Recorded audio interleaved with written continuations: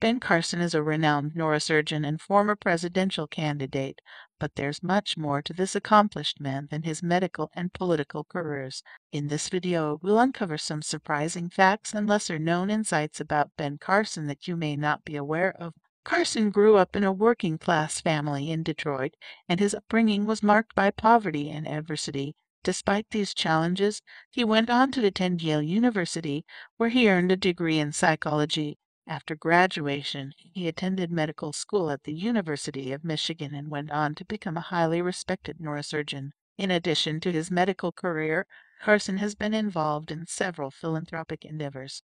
He and his wife founded the Carson Scholars Fund, which provides scholarships to students who excel academically and demonstrate commitment to their communities.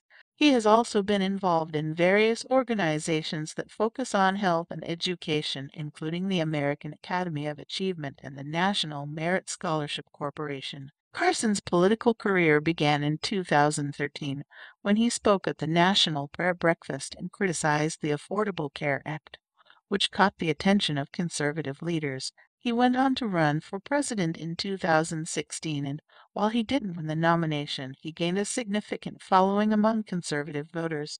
However, Carson's political career has been marked by controversy, including criticism of his comments on issues such as LGBT rights and his management of the Department of Housing and Urban Development. Despite these challenges, Carson has remained committed to his work and his beliefs and continues to be a respected figure in both the medical and political communities. So there you have it. Ben Carson is much more than just a neurosurgeon and political figure.